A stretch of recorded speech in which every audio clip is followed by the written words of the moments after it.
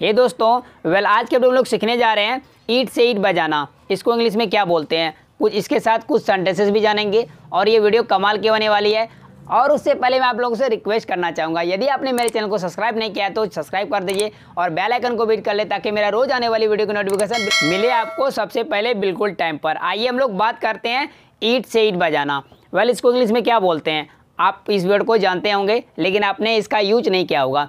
Destroy destroy mean होता ईट से ईट बजा देना, तबाह कर देना, बर्बाद कर देना। जिस तरीके से सेंटेंस देखिए, मैं तुम्हारा ईट से ईट बजा दूँगा, मैं तुम्हारा ईट से ईट बजा दूँगा।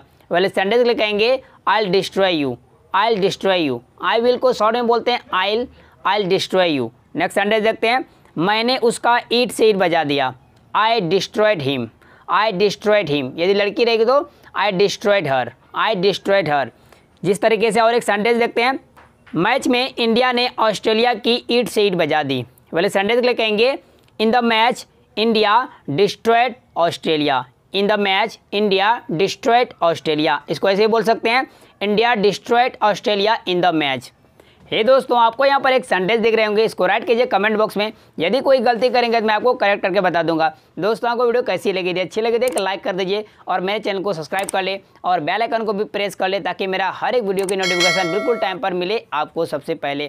Thanks for watching video friends and share करना मत भूलिएगा।